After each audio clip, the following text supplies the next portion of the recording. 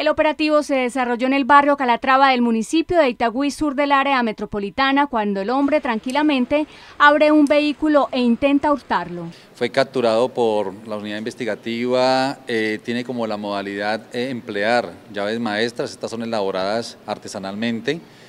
Eh, y con ellas logran ingresar al vehículo. Según las investigaciones, el presunto integrante de la banda delincuencial Los Cuchos tiene documentos falsos y otros 28 casos de hurto de vehículos bajo la misma modalidad.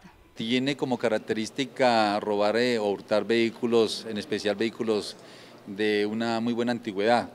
El capturado fue dejado a disposición de las autoridades por los delitos de hurto calificado y agravado.